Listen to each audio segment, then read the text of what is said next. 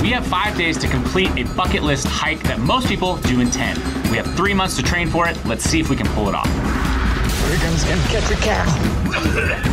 It's legit snowing right now and it's August.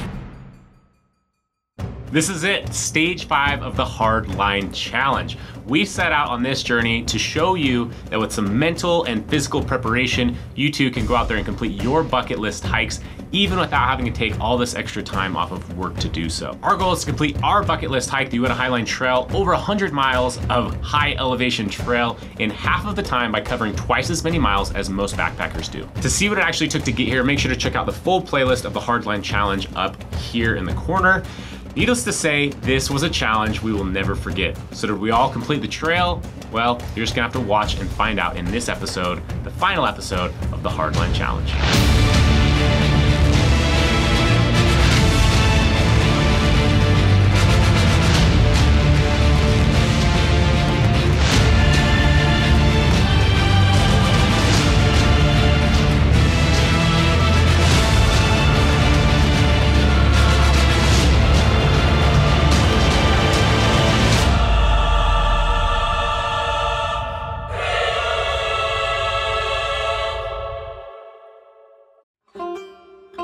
Woke up, um, we woke up around six in the morning and we were all pretty excited to get started. That's been a trail that I've wanted to do for for years. I had thought about it personally, and then I just randomly got the invite to join the guys after being in the company to go do Uinta Highline. I was like, hey, that's been on my bucket list for a while. The Uinta Highline Trail is a trail that goes through the entire range of the Uintas, um, basically as close to the center line as you can, or the highest point, which is why I think it gets its name Highline. What it equates to on paper is usually 104 miles long.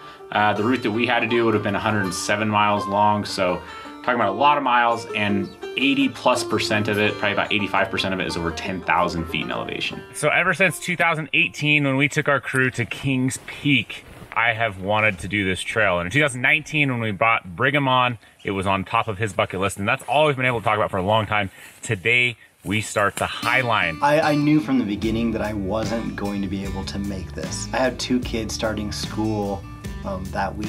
Uh, one was going to her first day of kindergarten. The other was starting his first day of third grade. You know, my wife's amazing. She she sacrifices and watches these kids as they go on these trips. But in this instance, uh, I just kind of need to step up as a, as a father and uh, and be the be there for these for these events that may seem small, but in the big picture are bigger things. Doing the High Line in five days is quite an undertaking, considering that most people do it in eight to 10 days.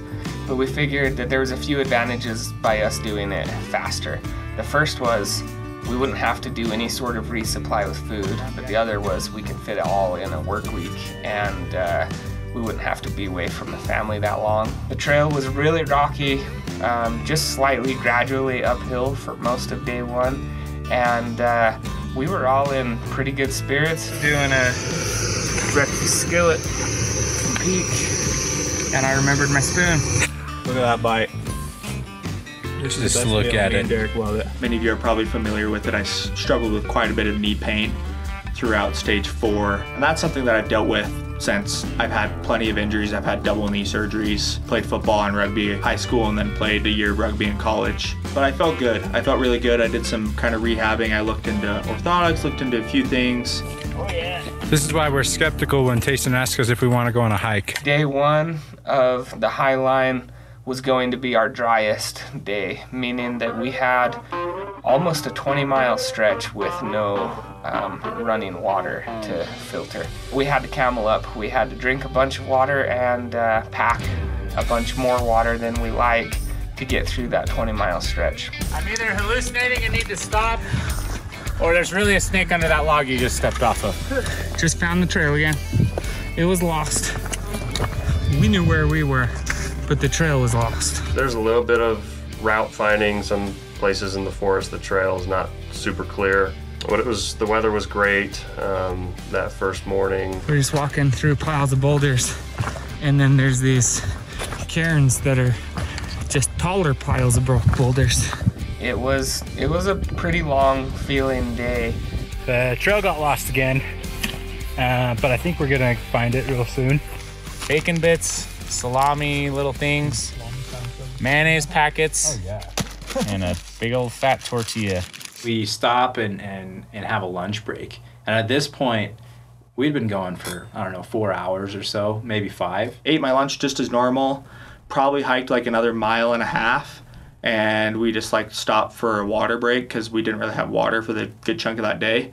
And we were stopping, just relaxing for a little bit. It's like, hey, I think I'm gonna head to the restroom, and just literally thought I had to go to the bathroom. The second like I get to the spot where I've chosen to go to the bathroom, like my stomach just like turned upside down instantaneously. Like it went from just feeling unsettled to like, okay, I'm gonna throw up right now. And I probably threw up like maybe seven times. So he finishes up and he's like, I feel way better. And, and uh, we're like, okay. And, and so we pack up and get moving again. And after like an hour or two, he starts feeling sick again. He, He was not feeling good for quite a while. That's not something that you want to see or hear that early on in a trip where your window of time is very tight and the margin of error is very tight. but he's a trooper. He proved that last stage, stage four. He pushed through a lot of different difficulties with his knees, and he kind of proved that when he puts his mind to something, he can do it. And so we decided to, you know, let's just keep going. Again, we are currently in the losing the trail phase. This is the uh, internal conversation going on up there with Tayson. Where the heck are we? And Brigham, well, I don't know. Weren't you supposed to be leading this outfit? Tayson's like, I thought you were in charge. It's part of being backcountry. I think the further back you get, the less maintenance gets done on the trails and the less traffic there is. Should be expected. Only four more miles to go and 900 feet of elevation before camp. If anybody asked my dad how far away we were, or if we were close, no matter what, he would always say about an hour. We'd be like driving Utah from California, we'd be like Reno. About an hour. About an hour. Mile 24.8. How you doing there, Brennan? Living the dream. I was not doing too hot, obviously, after I'd been throwing up for a while. And the last probably five miles up to where that lake where we wanted to be was pretty uphill. Lost a lot of energy, started hitting a calorie wall because I couldn't keep food down and didn't really want to be drinking because anything that I drank just upset my stomach instantly. Uh, it was a little bit of a crazy one. I threw up like four times. So definitely lost all my water at about mile 15. We were just in time to be able to set up our tent in the light, but we didn't have long. It was get to camp, set up tents, and then the sun was pretty much down. My legs are definitely feeling more tired after today's 25 miler than the Beaver 26 and a half mile. Doing pretty good. Um, I think there's just a lot of euphoria from just being here. Here's my biggest problem. This is a large hip belt, and with my weight loss, I have maxed it out. That's as tight as it goes, and I could use a tighter hip belt for sure. So that was a little bit annoying today, but luckily I'm built like an old man, so I can tuck this up and just kind of stick my gut out a little bit, and it grips it all right. I did have an 11,000 calorie dinner, so that was Thousand calories? Oh no, the 1100. Sorry. I'm ready to sleep right now. This will be a good night. Red, silver, yellow, black. Gotta test them all, I guess. How you feeling this morning, man? Uh, Kid friendly version is not too hot. Not too hot. Did you have to get up at all last night? Yeah, I threw up three times last night. Day two was beautiful. It's the end of tree line up there. Right at the top. Such a pleasant morning. We we started realizing like how nice it was to have just water available everywhere. There's streams flowing everywhere and just nice green grass that you're just walking by a place where you could lay down and just take a nap at any given time. Brendan's taking a nice little morning siesta. I did I, I I'm not never one to give up. That was like pretty much my motivator, so I don't give up. I snacked on like some fruit snacks that morning and didn't feel super sick. So like hopefully maybe I can get some food down. So I just decided keep going. I could live in the cabin in that valley.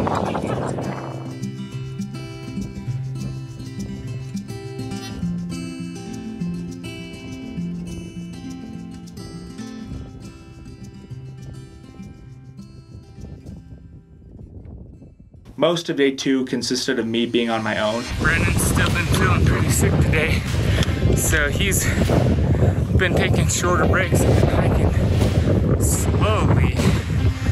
But we took our break and we only left a little while. And look how far ahead he is. So how I hike is very different than how they hike. I do not stop for meals really, except for dinner. So I'm almost always an eat on trail type of person. And I don't know if that affected me in any way, just because they were stopping for larger, bigger meals that I wasn't used to. So I just decided, like, okay, I'm gonna go back to my roots. I'm just gonna eat on trail. I'm just not gonna stop all day. Well, the big thing is like I'm just trying to hold. I just wanted to hold down. If I go too fast, I throw up. That's what's gonna ruin me. Any amount that you are able to hold down is a, is a gain. Yeah. he was just not doing good through that. We covered a ton of country above tree line, went over like two major passes, and uh, he just wasn't really making any improvements. And we were really worried that he just wasn't getting the hydration and the calories that he needed to sustain himself. We don't really know if it's elevation sickness or if he got a stomach bug or if it's overexertion or all three. Brennan had mentioned that he had some theories about maybe why he was feeling so sick. The night before we actually started the trail, uh, we met up and we actually grabbed a bite to eat at a restaurant, and uh, uh, I thought it was pretty good. But he he kind of mentioned a few times throughout the week that, you know, I bet it was that restaurant we ate at before we started the trail, and he he really thought that he was having some like food poisoning or something. My hunch would be that him taking both of the elevation medications together was what made him sick. We had done a lot of research and we got our doctors to prescribe a preventative um, elevation sickness medicine that we could start taking a few days before the hike that would help with elevation sickness.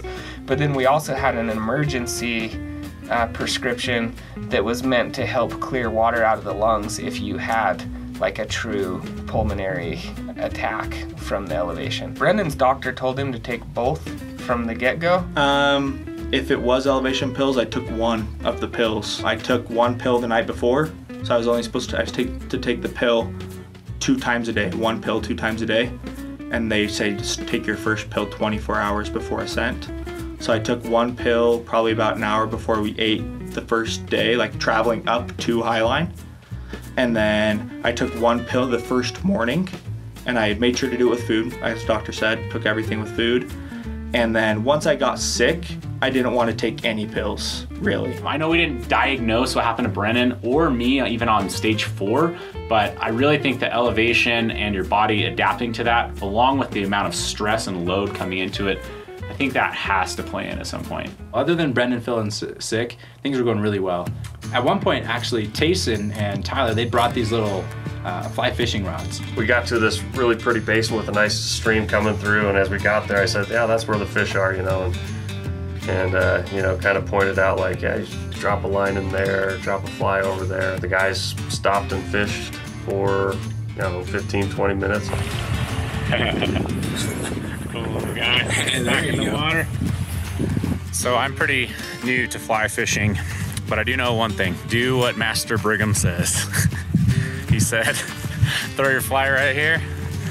The stream looks good. Threw the fly right there, and uh, caught three little trout." We're coming pretty close to where the Highline Trail goes by this lake, but uh, we're going by the end of the lake that just happens to have an outhouse. Can dump some trash, sit on a throne. If there's a trash bag, Oh, that's true. If there's a trash bag. So sad day. We just checked, and there's not a trash in there. So unfortunately, we will be carrying all of our trash with us on this trip. mile 17, a lot of boulders. I think we're all feeling the tender feet from just the sheer amount of rocks that we've covered today.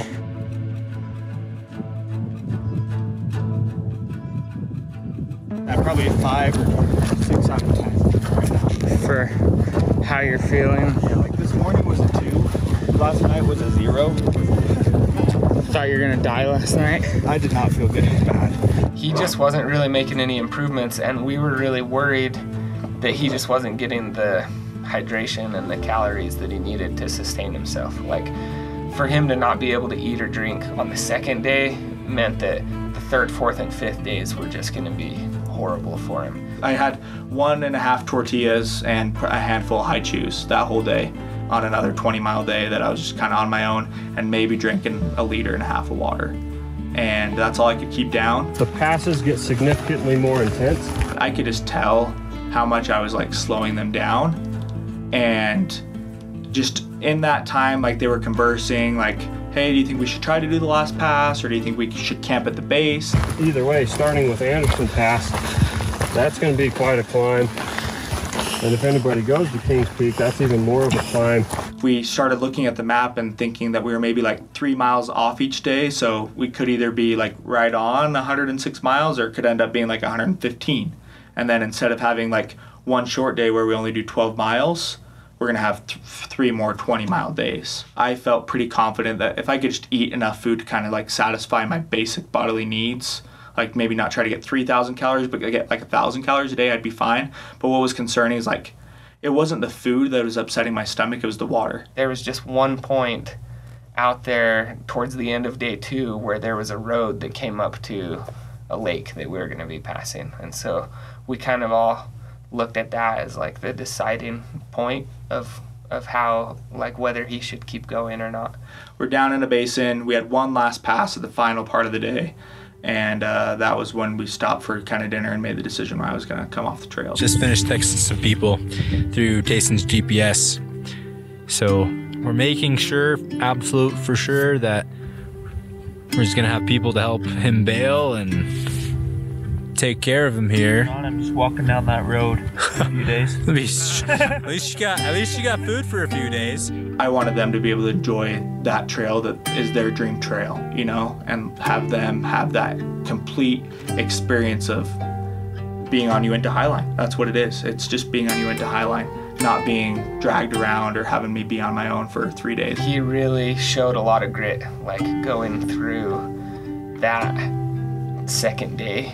Overall, what would you give it as a rating at a zero out of ten? 10 out of 10. Ten out of ten, even though you're puke six times. Yeah, I'm I'm frustrated to be leaving. I wouldn't wouldn't really want to be anywhere else. So I think it was the right thing to do. I mean, it, there wasn't going to be an opportunity for an exit strategy like that for a long time. being on top of peaks and just like summiting and being on the actual Highline Trail and then dipping down into these beautiful, beautiful basins full of lakes and pines.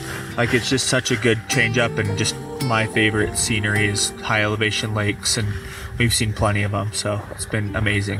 We used the the inReach to text his mom who talked to his brother and and we made arrangements for him to be picked up at that lake the following morning and uh, then when dinner was over he went backwards down the trail a mile and a half or two miles to the lake and we went the other way we've got to get up that pass and around the backside of this big mountain We knew we had a fairly significant pass coming up in uh, in a few miles, and we knew we wanted to be up and over that pass to our predetermined campsite. And uh, we also knew that the weather was the weather was coming. 740. Oh, I thought it was already 8, so we're ahead. 740. We gapped the clock here on the way up. It definitely does feel like go time though, because the storm's rolling in and That There's side a looks lot worse of- than this side right now. Feel the humidity in the air. You could see the clouds converging on each other. The darkness of the clouds was coming. We had to try and bust up and over this pass as quick as possible, uh, knowing that like if there's lightning, you got to have like a point of no return where, like once you're committed past that point, if there's lightning, you have to get down the mountain. So it's it's just which side of the pass do you go down? this is why we call Tayson Gandalf. He's got the beard tie and the reins tilt. And we are marching up to the top of Mount Mordor. We will pass. I juiced up. I threw a bunch of gummy bears in my mouth, you know, to get some some some sugar, and uh, we started making our way up and over that pass. We just clicked off mile 23. we're still climbing over this high mountain pass. starts pouring rain. It is just coming down so hard. And it's dark. The sun is going down. At the same time, the clouds are getting thicker and thicker and thicker. This is what makes you feel alive right here. Last year, almost the same week, I was getting frostbite in Alaska. This week, doing a freaking dream hike, getting beat down by the rain, loving life. That's where memories are made.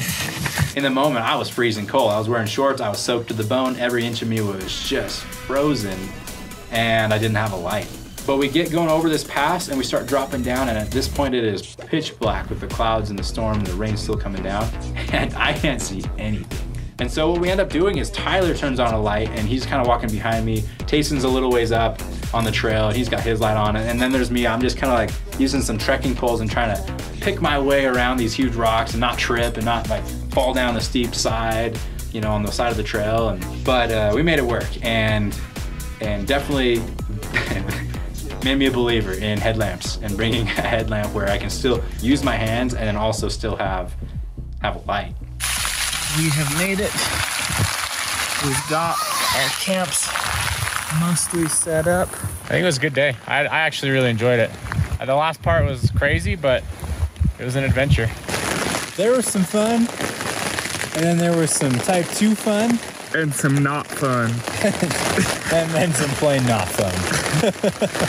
but I think you have to have some plain not fun to have like a real adventure. Otherwise, it doesn't really count.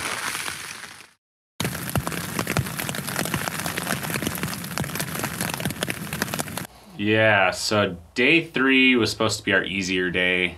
It's rained pretty literally all night long. We originally planned to be up and out of here by now, but this rain has uh, caused us all to pause and think. When we woke up, it was transitioning from rain to sleet and snow. I didn't really want to get up this morning, but when I did, I got up to snow. It's legit snowing right now, and it's August. When we got out of the tents, the whole entire mountainside and the entire valley was just running water. And I could not believe that the water just wasn't running straight under our tent. Somehow, in the dark, in our delirium of getting into camp late, we picked a pretty good camp spot. It's looking like we're gonna do 20 miles today in uh, sleet and snow and rain. So our shorts, like I said, they were already wet from the night before. Same with our socks and our shoes. And we were just soaked and freezing from the get go on day three. And we were antsy to get moving as soon as possible. All right, I'm freezing, it's snowing. We've gone 0.83 miles. This is our pace of, uh, we're calling it trail power walking. It's really hard on the quads, burns a lot of calories, but it keeps us warmer. We're doing interval runs between our walks, basically running the flats out here in the open because they're colder, and then walking quick as we can through the pines and stay warm. I mean, we're prepared for for rain. Um, I'd say I wasn't at that point. I wasn't in danger of hypothermia. You know, Thinking about hot showers and hot chocolate. And hot babes. Hot wife. yeah. yep. Um, cut that one. The minute we like leave our immediate vicinity of where we set up all the tents and stuff, there's just running and standing water everywhere. Look at how much snow is up there.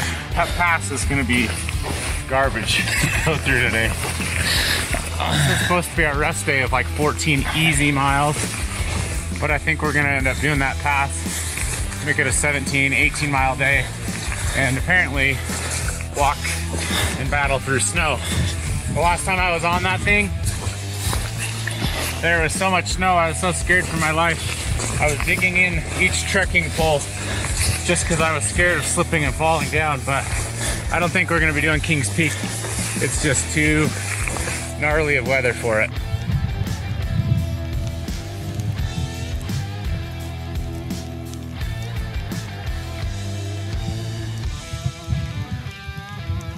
I'm convinced that every trail in the Uintas is actually just a dry riverbed. The second there's any rain, they're just rivers. And so we're basically walking on the side of the trail, navigating up and over logs and around things, and jumping rock to rock to rock on the trail, which just takes so much more energy out of you and, and it's kind of demoralizing when you're when you're trying to track your pace, you know, and and you're just not able to keep like a three mile an hour pace or whatever it is. It gets frustrating and it gets tiring. Hallelujah. We're getting some uh, direct sunlight on this grass. We're having to basically skirt along the trail the entire time. I got the skirt. It was it was not it was not fun uh, for, for me at that point. I just don't like being that cold and wet. But we were making good good time, covering ground quite well for the conditions. What happened to your shoe? Didn't get wet, it just got foam. It did that for a couple hours at least, you know, at least before around lunchtime. I just don't want it to be slick because it like I do you remember looking off that side and just being like, that's just a cliff over there that they put the trail down it, you know? What if we could get there at three, you know? Yeah, to, to Anderson Pass. Yeah. We took a moment to pull a weather report on the Garmin. We saw a big storm coming into Kings Peak, and we knew that if it snowed or if the storm hit that peak too hard, it was going to be dangerous to be up there in the lightning, but it was also going to be dangerous coming off the backside of it down Anderson Pass. So from then on, we hustled a lot more. We got into some different types of terrain as we got further and further away from North Pole Pass. We're walking through a boulder field right now because the trail through the meadow is complete swamp. And we were heading towards this this big high elevation basin, the end of which there is Anderson Pass and Kings Peak, which is the tallest peak in Utah. That a mountain that disappears into the snow clouds behind Tayson is Kings Peak.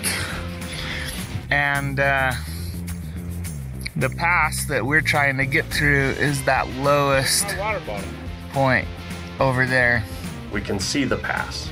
We can see what the weather's doing. We can see what the clouds are doing. And you can tell looking at it, like you can tell when it's raining, when it's snowing, or when it's just clouds.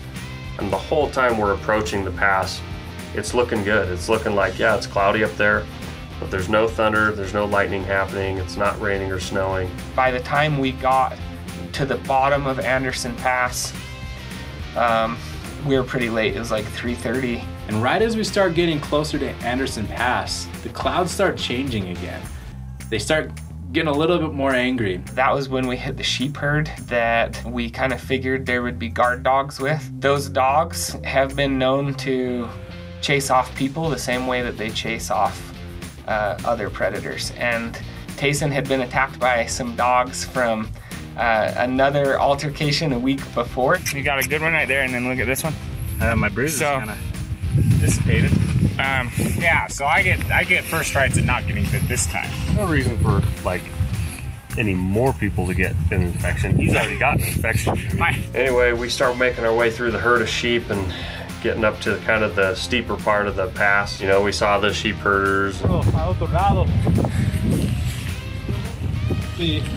I believe it's from Peru.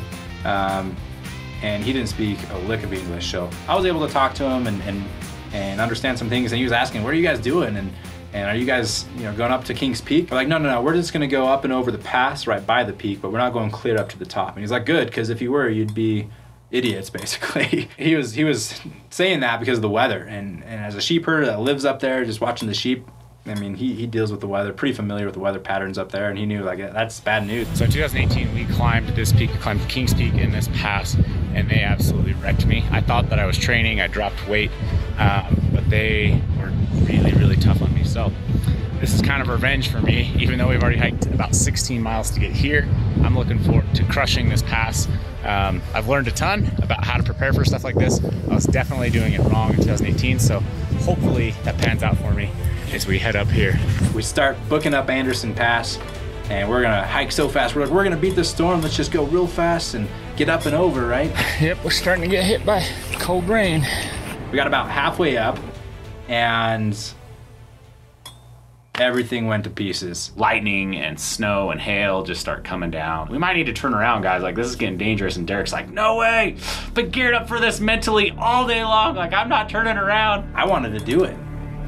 But we start talking about what would be the smartest thing. And I think Tyler is really the one that brought the voice of reason into this conversation. Knowing how far we have to go once we get over the pass, I would say it's, I would probably vote for the conservative option and go back down and camp. I really don't care too much about the the last couple miles after the pass. Yeah, that for me. That doesn't like. I just feel like it's gonna be- thing. To me, the safety thing is the pass. Should we push through the lightning so that we can get over it? But at the same time, it looked like the snow was coming from the backside. So we knew that going down the pass was going to be pretty treacherous, even if we didn't get struck by lightning. We don't have a guarantee that there won't be a storm in the morning, too.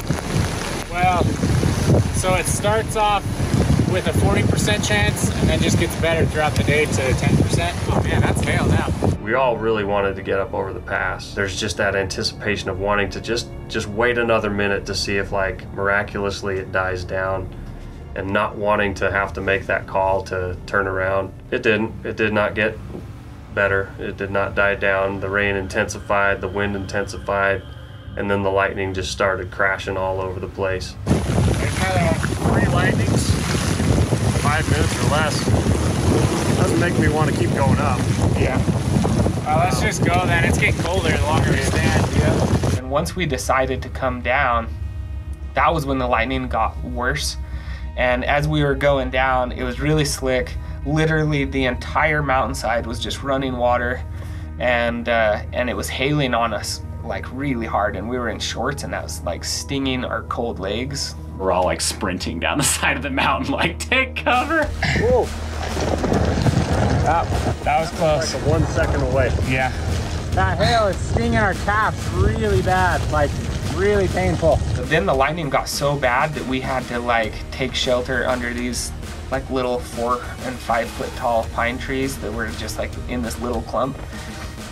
And we hung out in that clump of trees for like, I think it was right around 40 minutes while the lightning was just pounding all around us. Like,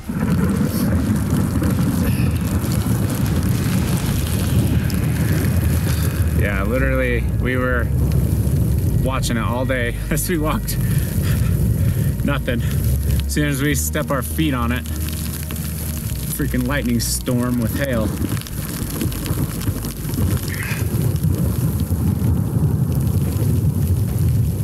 Our legs were cramping from being crouched so long and holding that same position and trying to keep low because we also didn't want to be higher than those old trees. The rain backed down just a little bit at that point. But when we got down to the basin where the sheep were, the, uh, the there were two sheep herders that were just huddled in their full rain suits. You know, like they were well supplied. They had these full, heavy-duty rain suits, and they were just standing there next to this tree. And as we walked up to them, they were kind of just like smiling at us. And I think they just thought like, these guys are nuts. So we come walking up, and meanwhile, you know, keep in mind, I've got my beard uh, and and I've got a kilt on, a rain kilt, which is killer by the way. Um, but we come back down, and I think they look at us again and just like, these guys look ridiculous. They're like, hey, can we get your picture?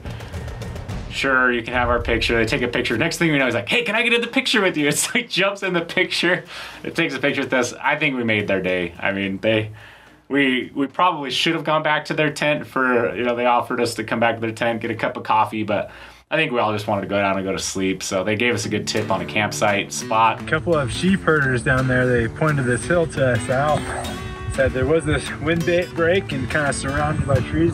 And they said no water flows here. i think by the time we got to camp we were sitting at like 17 plus miles um, which seems easy compared to our other days but it was like harder miles than any other day it felt like because of all the off trail and hurry up and wait and stop and run and, and, and it was just kind of chaotic We are up here on a hill, but we're surrounded by little trees. Um, of course, we got two guys with the two person tent, so they take the best spot. Brigham takes another spot, and there's this little cubby that was like super out of the wind. And I'm like, I think my tent's big enough to get in there. Um, I pitch it in there, and it ended up being a terrible decision But by the time it was set up, I just didn't want to mess with it. Probably the worst pitch you could ever have. Pools of water. The whole thing is shifted because I can't get any farther that way. It's just a, it's just a mess. Lots of water in here already from being wet last night and in the snow and no time to dry out today and here we are.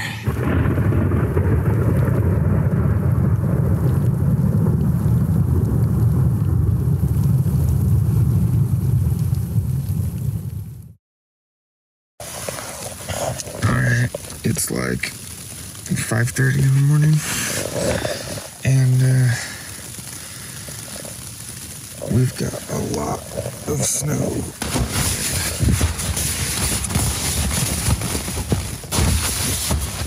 Seven o'clock.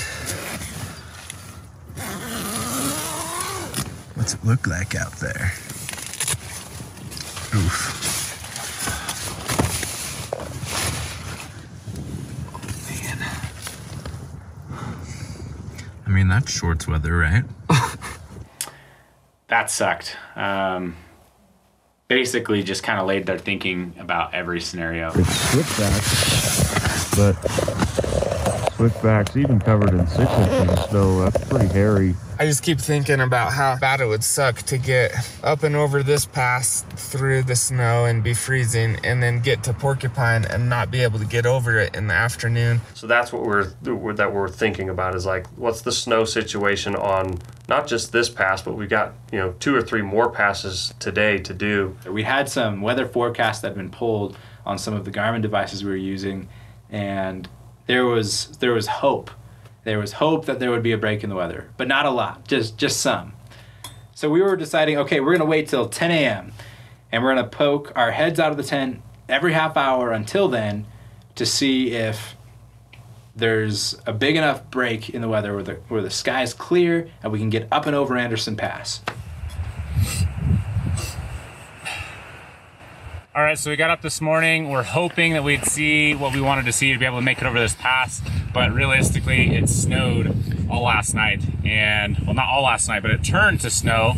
It rained all last night, turned to snow this morning. We had a bunch of snow up on our tents. And so we laid in our tents for a couple hours talking about it. And realistically, it's just not safe to continue. If we go up through this, on the backside, it gets really steep. Um, which is kind of scary when there's you know six to 12 inches of snow up there. Plus we're all in shorts and trail runners. We just really did not plan for this. In fact i have the warmest gear probably and that's because i have a two and a half ounce rain skirt. So that tells you how prepared we really are for something like this. But we're gonna have to make the hard call of heading back home. Um, if we went through the pass and we tried to call it later it'd be much more difficult. We've got a way out of the wilderness right here which is really our best access point by far. It's somewhere around 12 to 14 miles to a trailhead. So we're gonna head down the trail and get off the mountain. We're super bummed. We've been planning this for a long time. It's a bucket list hike. We're gonna have to come back. That pass right there, Anderson Pass, uh, I came back for some revenge and did not succeed. It just keeps telling me that I shall not pass. So solidifies my name a little bit of Gandalf, I guess, and uh, we'll have to come back. And this time, I think I'll just bring some mountaineering gear the next time and and uh, make sure that it happens. Anyways, we're gonna take off through this pass over here and uh, hoof it down to the trailhead and hopefully be out of here by tonight. The other thing that Jason didn't mention there was that Anderson Pass is over 12,000 feet. And had that been the only pass, we might have pushed for it. But there's two more passes with the same weather. So likely we would have had to wait a day to get over the next one and the next one. There was the potential for us to get stuck between each pass waiting out storms and that would set us back two to three days on our plan and and put us in danger of running out of food it also just put us in danger of having to go down those passes in the snow not being able to see the trail not being able to see what rocks were solid and what weren't and just it would be really treacherous We watched that peak all yesterday, and the cloud would float by, and the blue skies, cloud, blue skies, and then you cannot tell, but all of a sudden, thunderstorm, and snow rolls over. That's the scary part. You just kind of have to trust the weather and know that if it says 50% chance, it's gonna get it. You know, like if anywhere on the whole mountain's gonna get it, it's gonna be these peaks.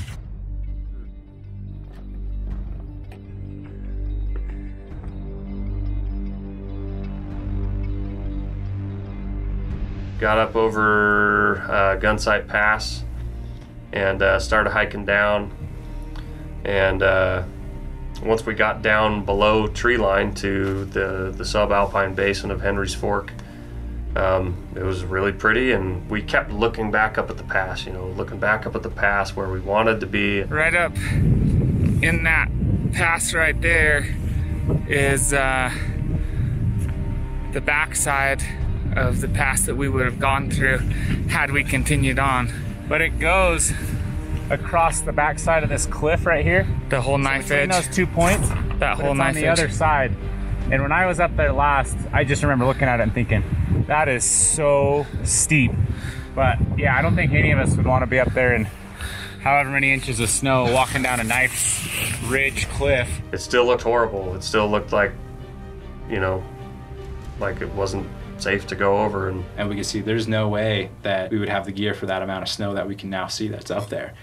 So we kept hiking out. We've all been talking about things we've learned um, as we've kind of done this trail so far. And even though we're bailing out because of the weather, um, all of us are pretty satisfied with our physical performance, being able to click off 25 mile days, day after day, and really be okay with it. Like none of us feel like our bodies are thrashed. You know there's a lot of water in these mountains when there's natural water fountains just springing up out of the ground middle of the grass. It's like the worst, you know. It's like like you feel like you're that dog walking home with his tail between his legs, where you're just like, ah, you know, this sucks. So I was in a hurry, and uh, my wife helped me pack my bunch of my a bunch of my food. She wrote little notes all over the bags, the packaging. And I've been loving them all week. They're, I'm a big fan of dad jokes, and so everything's covered with dad jokes, like this tangerine zest Luna bar. She said, "Orangey, glad you have a wife like me," and the answer is yes. The lower we get, the the more we start to see people. We've been passing a ton of people with massive, massive packs. They look so miserable. All these all these people on like a one or, or two night trip have just insanely huge and heavy packs, and we definitely have work to do about helping people live ultralight a little bit more. It started snowing again. Just like the saying goes, we're not out of the woods yet. You guys see that? We're a couple miles still from the car. I mean, it's starting to hail and snow again. And at this point, we're 3,000 feet below that pass. Somewhere up there in Anderson and Porcupine Pass, it is dumping snow. I mean, we are massively below the pass. Plus, that pass is the highest point. It's taking the worst of all of the weather. And so it was just very clear to us by the time we got to the car and are waiting for the car to get there. When the snow is just coming down, even 3,000 feet below that pass, that, that we'd made the right decision for sure um, and the safe decision. We got to the parking lot for the trailhead like three minutes to four o'clock, which was when we had planned to meet Eric, our trusty and very flexible shuttle driver. And uh, he showed up about two minutes after four. So we didn't have to wait long at all. It was pretty amazing timing. But what was the biggest surprise was Brendan was in the car with him. I woke up like seven in the morning to two missed calls from Eric, who's who shuttled us out there, and a text from Tayson saying, "Hey, we got snowed out." I was like, "Are you serious? Like they only made it one more day? Like what is going on?" And he's like, "We need one of you to pick us up at like this spot." So I like kind of panicked a little bit, like got up, told my brother, I like, "What's going on?" He's like, "Are you feeling good enough to drive out there?" I was like, "I don't think I'm gonna drive, but I'm at least gonna go with Eric and pick up the guys." This is the craziest story. So there's a company called Mountain Trail Travel, and they do food drops at the bridge that I was telling Really? you about. That's like their job is they drop people off for this trail, and they do food oh, drops yeah. at Chepeta Lake. Yeah. And they are only there for five minutes. They literally drop a food box. I pulled up as they pulled up in their Razor, and they drove me to Vernal. me to a hotel, and my brother picked me up in Vernal. They're from Vernal. You got a hotel that oh, I night. slept in a That's hotel awesome. that night. I haven't. The only thing I've eaten since I left you guys, I've eaten half of a quesadilla from Costa Vida, and I We ate were just some- gonna take you to Costa Vida. and I ate some French fries. you went back to Costa Vida. He goes straight back to the source. He went and ate at the same restaurant. We're like, dude, you were just saying that that's the place that made you sick. I just needed, I just needed a freaking, I needed something. The only thing that sounded good was like a quesadilla. I was like, I need to get a quesadilla. and I ate some French fries on the way up here. I changed clothes into dry clothes to drive home in for the eight hours of the drive home, and um, and then the whole time you get to reflect on everything we've done. You could definitely kind of sense the amazement, like the appreciation that they kind of had for the mountain, and just that we have this technology to kind of get off trail like that, and like you definitely sense that, but just also like that kind of innate frustration that was kind of in everybody's hearts at that moment, you know, that we didn't finish something that we really wanted to do and all felt in all honesty were physically capable of doing and had put in all the training that I think we needed to do. I think every one of us was ready for that mountain and whether it be snow, sickness, knee pain, whatever takes you off trail, it's never fun. We put in a total of around 80 miles. So we'd gone 80 miles in four days. So to me, that, that means, okay, we definitely, if we had better weather conditions, we definitely could have completed the 115 mile Highline Trail in five days. The biggest thing with all of it is I hate to back off the trail or to, to not complete that goal, but um, that's kind of the best part about what makes the mountains the mountains. What made that trip the trip is if we had just done that trip, Brennan hadn't gotten sick, and we'd just done the 107 miles that we were planning to do, and it had gone smooth, like it would have been awesome. It would have been a huge pat on the back. But that's kind of what draws me to go out and do these things is you never know what's going to happen, and you have these moments where you're just like, this this is nature. This is Mother Nature. This is the wild. It's unpredictable. It's unforgiving, and um, you can prepare yourself the best you can. You can prepare yourself physically, mentally, emotionally, and with your gear. But there's an element of things you can't control, and that's what keeps it exciting. We had put so much into this whole summer of challenges. I mean, when I look at my Strava, I can see here that I did over 350 miles in preparation and, and I guess through the summer. Um, and I did 52,000 578 feet of ascent. So I'm just 5,000 feet short of of doing Mount Everest twice. And uh, so we put a lot into it, and to not be able to finish was a bummer. But at the same time, I probably wouldn't have done 350 miles. The fun, the not so fun, the misery, the the scenery, and and the and the frustration of not being able to finish the hike, um, and then, but also the the energy of like being really motivated to to get back there and do it again. Hardline challenge as a whole, worth it, despite the fact that you failed. Yes, I failed at the hardline challenge. No, I I it was totally worth it. All of us proved to ourselves that we could make it and that we could do it, and that we had that physical ability. Um, and to me, that was a huge success. I, I, I know for a fact that this summer I've been probably healthier than I've ever been in my life, and it's felt great. I was thrilled to get to the Beaver, you know, Skyline Trail. Um, that was that was my goal. Is I wanted to fast pack that entire range and, and be able to say I did it. And you know, whenever we drive past there with my family now, I can say, hey, look at this range. As far as you can see, uh, you, I went over that. I, I ran across that. The training was totally worth it. You know, anything, any training is just going to make you better off. And so I was happy about that. I was happy about the training, and you know, I made it. I know it benefited me and made me healthier, and um, you know, healthier is better. Did I need to do any of that? Like I could have done the Highline Trail any day of the year. Um, you know, I I try to stay very fit, and uh, I train and exercise year round. Like my my mantra is to be able to do any trip, anywhere, any day of the year without having to do special preparation. Um, that's backpacking. Now running is a different thing. So fast packing, the training definitely, um, you know, made that a much easier thing to do and much more doable. all of your growth comes from pushing past your comfort zones.